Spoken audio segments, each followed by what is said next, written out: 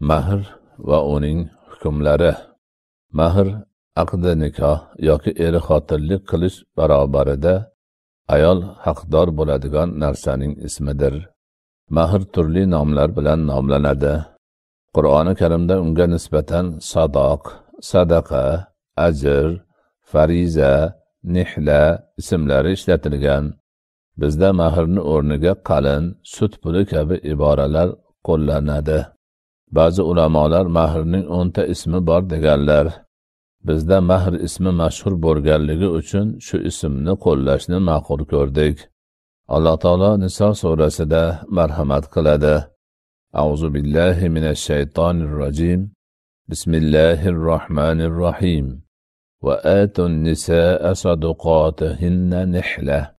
ayollarga mahrlarini ko'ngildan chiqarib bering. Ushbu oyati karima erga mahr berish vojib ekanini anglatuvchi to'rtta oyati karimadan biridir. Ahdi nikoh bo'lishi bilan mahr berish vojib bo'ladi. Agar qovushmay turib ajrashadigan bo'lsalar ham berilganda ham kuyov tomonidan chin qalbdan chiqarib berilishi talab etiladi va mahr kelinning shaxsiy mulki bo'ladi. Bu shar'iy hukm kelinlarni hurmatlash taqdirlash va erkalashning muhim bir ko'rinishidir. Mahr berish farz amal hisoblanadi. Hatto shundayki kelin kuyov o'zaro kelishib ikkimiz ham rozimiz. Bu hukmga amal qilmay qo'yaveramiz deyishga ham imkonlari yo'q. Agar bilimsizlik oqibatida yoki boshqa sabablarga ko'ra mahr belgilanmay nikohlanib ketgan bo'lsalar ham keyin baribir mahr berilishi kerak. Hattoki er mahrni berishdan oldin vafot etib qolsa ham merosxo'rlari mahrni ado etishlari lozim bo'ladi. Ushbu oyatda er o'ziga xotin bo'lishga rozi bo'lgan ayolga mahrni og'rinib emas chin ko'ngildan chiqarib berishi lozimligi uqtirilmoqda va mahr kelinning o'z mulkiga aylanishiga ham ishora qilinmoqda. Ayol mahrni olgandan keyin nima qilsa o'zi biladi. jumladan ushbu oyatda zikr qilinganidek eriga qaytarib bersa ham o'zining ishi agar kelin o'z ixtiyori bilan rozi bo'lib erining bergan mahrining hammasini yoki bir qismini qaytarib bersa er uni bemalol olib tasarruf qilsa bo'laveradi عن سهل بن سعد رضي الله عنه قال قال رسول الله صلى الله عليه وسلم فالتمس ولو خاتما من حديد ravohul hamsa sahl ibn sad roziyallohu anhudan rivoyat qilinadi. Rasululloh sollallohu alayhi vasallam uylanmoqchi bo'lgan kishiga agar bir temir uzuk bo'lsa ham top deganlar. Beshovlari rivoyat qilganlar. Nabiy alayhissalom biror nikohni mahrsiz qo'ymaganlari sobitdir. Musulmonlarning barchasi nikoh mahrsiz bo'lmasligiga ijmo qilganlar. mahrining ozi o'n dirhamdir. O'n dirham bir dinorga teng keladi. Bu nisobga yetgan molni yigirmadan biri deganidir. Ushbu ma'lumotga suyanib har bir davrdagi mahrning eng ozi miqdorini belgilash oson bo'ladi. Buning uchun o'sha davrning zakot nisobi mazkur miqdorni yigirmadan biri aniqlansa eng oz mahr miqdori chiqadi. Anjabirin roziyallohu anhu أن رسول الله صلى الله عليه وسلم قال لا مهر أقل من عشرة دراهم رواه الدار قطني والبيهقي جابر رضي الله عنه دن رواية قلنده rasululloh sollallohu alayhi vasallam o'n dirhamdan oz mahr yo'q dedilar dora qutniy va bayhaqiy rivoyat qilganlar agar o'n dirhamdan ozni aytgan bo'lsa ham o'n dirham miqdorini berish vojib bo'ladi. Mahr pul bo'lishi shart emas kiyim taqinchoq yoki shunga o'xshash mulk bo'ladigan va halol narsa bo'lsa joiz. Kuyov taraf o'n dirham yoki uning qiymatidan oz miqdordagi narsani mahr deb aytgan bo'lsa baribir o'n dirham yoki uning qiymatidagi narsani berishi lozim bo'ladi.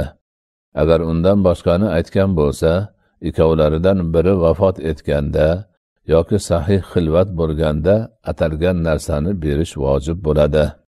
Ya'ni er taraf kelinga o'n dirhamdan oz bo'lgan mahrdan boshqani o'n dirham yoki undan ko'pni mahrga berishni atagan bo'lsa birlari vafot etgan chog'ida yoki ikkovlari sahih xilvatda qolganlaridan keyin o'shani berish vojibga aylanadi. Sahih xilvat deganida ahdi nikohdan keyin eri xotin bir joyda xoli qolib ularni jinsiy aloqadan to'suvchi hissiy shar'iy va tabiiy moneliklar bo'lmasligi ko'zda tutiladi. Xoli joy deganda hamma tomoni yaxshi to'silgan ikkovlarining iznisiz oldilariga birov kira olmaydigan makon ko'zda tutiladi. Hissiy monelik deganda er bemorligi tufayli vaqtincha jinsiy aloqaga yaramay turganligi ko'zda tutiladi. Shuningdek ayolning farjida to'siq bo'lib jinsiy aloqaga moni bo'lishi ham hissiy monelikka kiradi. Shar'iy monelik deganda ayolning hayzli yoki nifosli bo'lishi ikkisidan biri ro'zador yoki ehromda bo'lishi ko'zda tutilgan. Tabiiy monelik deganda er xotindan boshqa shaxsni ular bilan birga bo'lishi ko'zda tutilgan. Ana o'sha shartlar to'liq bo'lib sahih xilvat yuzaga kelgandan keyin erga mahrni to'liq berish vojib bo'ladi. Agar xotinning aybi bilan nikoh buzilsa ham misol uchun qovushgandan yoki sahih xilvatdan keyin ayol dindan chiqib murtad bo'lsa ham mahrni to'liq olish haqqiga ega bo'ladi. Shuningdek avval ham aytib o'tilgandek er xotinning birining o'limi bilan ham to'liq mahr vojib bo'ladi. O'lim qovushganlaridan keyin sodir bo'ladimi? Oldin sodir bo'ladimi? Keyinmi? Baribir. Jinsiy olatning kesilgan bo'lishi jinsiy zaiflik va bichirganlik man qiluvchi omil emas. Bunday holatlarda ham kelin kuyov yolg'iz qolsalar sahiy xilvat hisoblanaveradi. sahiy xilvatdan oldingi taloq atalgan mahrni yarmini vojib qiladi bu hukm qur'oni karimda kelgan alloh taolo baqara surasida shunday deb marhamat qiladi أعوذ بالله من الشيطان الرجيم بسم الله الرحمن الرحيم وإن طلقتموهن من قبل أن تمسوهن وقد فرضتم لهن فريضة فنصف ما فرضتم إلا أن يعفون av yafuallazi biyadihi uqdatun nikoh agar ularga qul tekizmay turib taloq qilsangiz va mahrni belgilab qo'ygan bo'lsangiz belgilanganning yarmini berasiz. Magar ular afv qilsa yoki nikoh tuguni qo'lida bo'lgan kishi afv qilsa bermaysiz.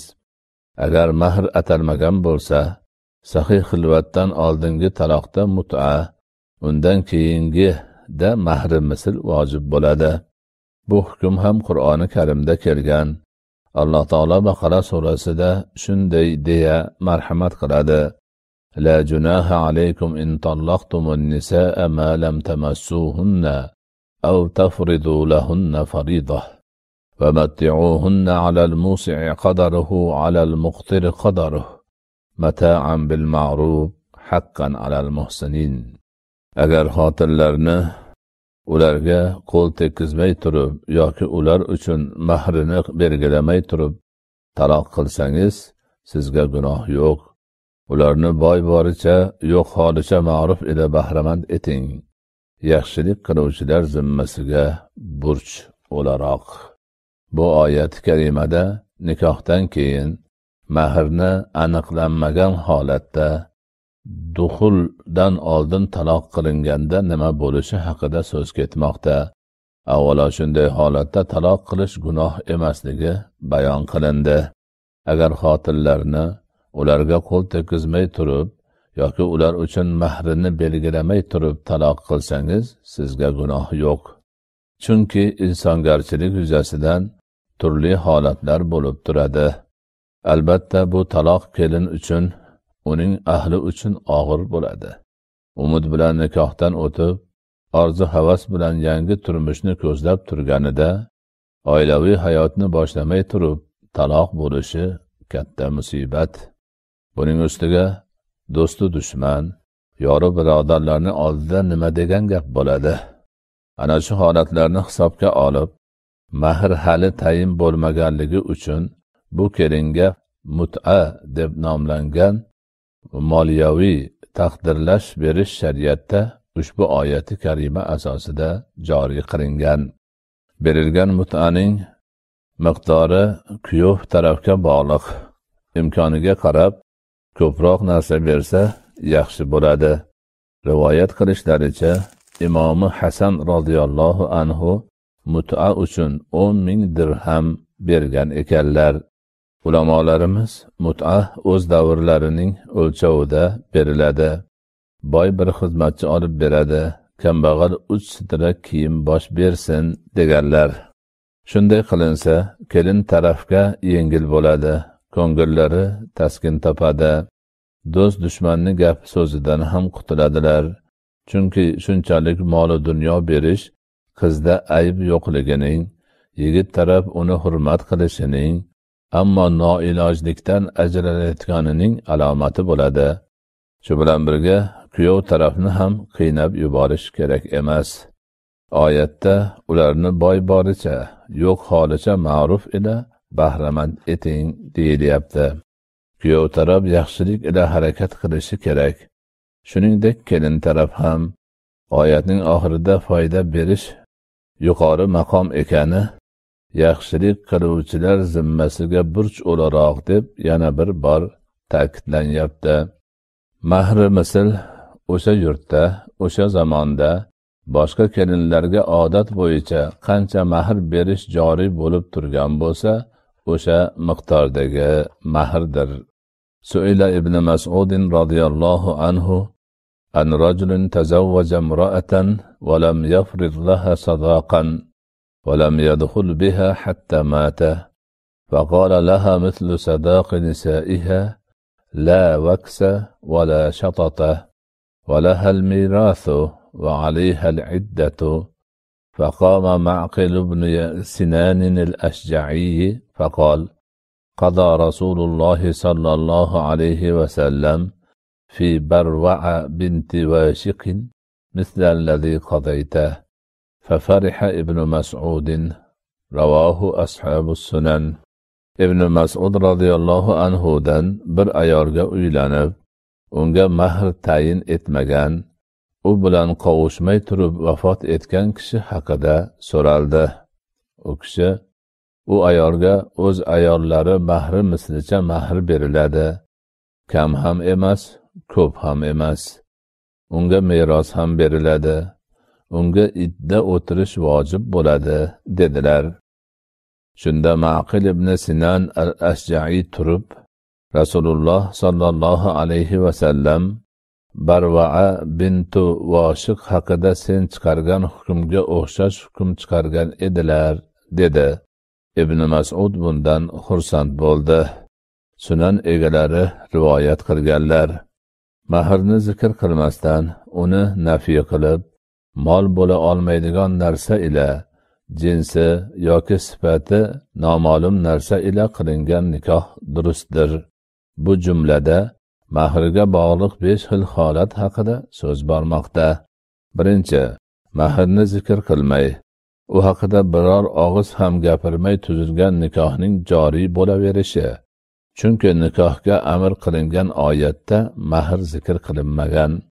Ikkinchi mahrni nafiy qilib ya'ni orada mahr yo'q deya kelishilgan nikohning sobit bo'lishi alloh taolo baqara surasida marhamat qiladi لا جناح عليكم إن طلقتم النساء ما لم تمسوهن أو تفرضوا لهن فريدا agar xotinlarni ularga qo'l tekizmay turib yoki ular uchun mahrni belgilamay turib taloq qilsangiz sizga gunoh yo'q Mahr atalmagandagi taloq joiz bo'lgandan keyin mahr atalmay qilingan nikoh ham joiz bo'ladi. Chunki taloq faqat sahih nikohgagina tushadi. Uchinchi mahriga mol bo'la olmaydigan narsani atab qilingan nikohning ham joizligi. Misol uchun bir musulmon bir muslimaga uylanayotib mahriga xamir yoki cho'chqa beraman degan bo'lsa ham nikohlari o'taveradi. Ular mahriga atash mumkin bo'lmagan narsani aytganlari uchun bu xuddi hech narsa atamagan bilan barobar bo'ladi. To'rtinchi mahriga jinsi noma'lum narsani atab qilingan nikohning ham joizligi. Misol uchun kuyov kelinning mahriga kiyim yoki taqinchoq beraman dedi. Qay turdagi kiyim yoki taqinchoqligi noma'lum. Bu ham hech narsa atamaganga o'xshash bo'laveradi. Beshinchi mahrga sifati noma'lum narsani atab qilingan nikohning ham joizligi. Misol uchun kuyov mahriga sigir beraman deydiyu qay sifatdagi sigir berishini aytmadi. Ammo bunday nikohlar bo'laveradi deyish er mahr bermay ketaveradi degani emas balki nikoh bog'lanadi. Undan keyingi munosabatlar zino bo'lmaydi deganidir. Nikoh aqdi durust bo'laveradi. Ammo ayolning mahri haqqi paymol bo'lmaydi. Erga mahr berish farzligi o'z o'rnida turaveradi. Bu holatlarda avval aytib o'tilganidek o'sha narsalarning o'rtachasi yoki qiymati miqdoridagi mahri misl vojib bo'ladi. Bunda narsaning o'zini yoki qiymatini berish kuyovning ixtiyorida kelin uning berganini olishga majbur. Agar er ayolini yurtidan chiqarmaslik sharti bilan mingni atab nikohlab olgan bo'lsa yoki nikohda muqim tursa ming berasan olib chiqsang ikki ming deb shart qo'yilgan bo'lsa u holda er aytganiga vafo qilsa yoki muqim tursa ayoliga mingni berish vojib bo'ladi. Aks holda mahri mislni beradi. Bu esa ikki mingdan oshmaydi va mingdan kam bo'lmaydi. Agar bokiralikni shart qilgan bo'lsayu juvon chiqib qolsa ham mahrning hammasini berish lozim bo'ladi. Chunki qizligi zinodan boshqa sabablarga ko'ra ketgan bo'lishi mumkin. Bu holda yaxshi gumon qilgan afzal. Fosid nikohda agar yaqinlik qilmagan bo'lsa hech narsa vojib bo'lmaydi. Agar yaqinlik qilsa yaqinlik qilgan vaqtidan boshlab atalgandan ziyoda bo'lmagan mahri misl vojib bo'ladi nasab sobit bo'ladi. Fosid nikohga opa singilga birdaniga uylanish guvohlarsiz uylanish opasining iddasida singlisiga uylanish boshqaning iddasida o'tirgan ayolga uylanish va to'rtinchi xotinning iddasida beshinchisiga uylanish kabilar kiradi. Kelinga beriladigan mahri misl uning ota qavmi e'tiboridan yoshiga jamoliga moliga aqliga diyonatiga yurtiga zamoniga bokiraligi yoki juvonligiga qarab bo'ladi. Shuningdek kelinning odob va axloqiga qarab bo'ladi. Mahri mislni belgilashda mazkur omillarni hisobga olib kelinning mahri uning ota yurtidagi o'ziga eng o'xshash kelinga beriladigan mahr miqdorida bo'ladi. Agar ularda ota taraf qarindoshlarda bo'lmasa begonalardan olinadi. Ya'ni mahri misli aniqlanishi lozim bo'lgan kelinga o'xshash kelin uning otasining qarindoshlari ichidan topilmasa onasi tarafidan va uning qavmidan emas begonalardan izlab topiladi. Agar ona otaning qavmidan bo'lmasa bir kelinga berilgan mahri mislning aniqlashda uning qaysi kelinga teng ekanini belgilash uchun ikki er kishi yoki bir er va ikki ayol kishi tayinlanadi. Mahrni berish muddati erta yoki kech berilishi ana shu tayinlangan kishilar tarafidan belgilangan bo'lsa o'shandoq bo'ladi. Agar ular tayin qilmagan bo'lsalar urfdagiga qarab bo'ladi. Mahrni ikkiga bo'lib to'lash ham mumkin. Dastlabkisi avval beriladi va mahri muajjal erta mahr deb ataladi. Keyingisi esa keyin beriladi va mahri muajjal kechiktirilgan mahr deb ataladi. Agar ikki taraf aqdi nikoh paytida erta mahr qancha va qachon berilishini kech mahr qancha va qachon berilishini kelishib olgan bo'lsalar o'sha kelishuvga binoan ish tutadilar. Aqdi nikoh paytida bunday kelishuv bo'lmagan bo'lsa o'z qavmlarida mazkur miqdordagi mahrni o'sha ayolga o'xshash kelinlarga qay tarzda berishga odatlangan bo'lsalar o'sha tarzda beriladi. Erta mahrini olishdan avval ayol jinsiy yaqinlikni va o'zini safarga olib chiqilishini man qilishga haqli. Agar o'z roziligi bilan bo'lgan yaqinlikdan keyin man qilsa ham joiz. Bu holatda uning nafaqasi soqit bo'lmaydi. Ya'ni mahrini o'z vaqtida berilmaganiga norozi bo'lib kuyovni o'ziga yaqinlashtirmayotgan kelinning nafaqasi erga vojib bo'lib turaveradi. Er xotinim meni o'ziga yaqinlashtirmayapti shuning uchun uni nafaqasini bermayman deyishga haqli emas. Shuningdek u erning iznisiz hojat yuzasidan safar qilishga va tashqariga chiqishga haqli. Mahrni vaqtida bermagan er ayolni bu narsalardan man qilishga haqli bo'lmaydi. Ayol erta mahrni olgandan keyin uni boshqa yoqqa olib ketsa bo'ladi. Uni safarga olib ketmaydi deganlar ham bor va fatvo shunga berilgan. Ulamolar erta mahrni yoki to'la mahrni bergandan keyin er xotinining roziligisiz uni boshqa yurtga olib ketsa bo'ladimi yo'qmi degan masalada turli gaplarni aytganlar. Olib ketishi mumkin emas deganlar ko'proq zamonning fasodini e'tiborga olganlar. Olib ketishi mumkin deganlar alloh taoloning u ayollarga o'zingiz yashab turgan joydan imkoningiz boricha joy bering degan qavlini dalil qilib keltirganlar. Mana shunisi to'g'ri. Agar er unga bir narsa yuborgan bo'lsayu xotin uni hadya desa er mahr desa erning gapi qabul bo'ladi. Illo yemoq uchun tayyorlangan narsada uning gapi qabul bo'lmaydi.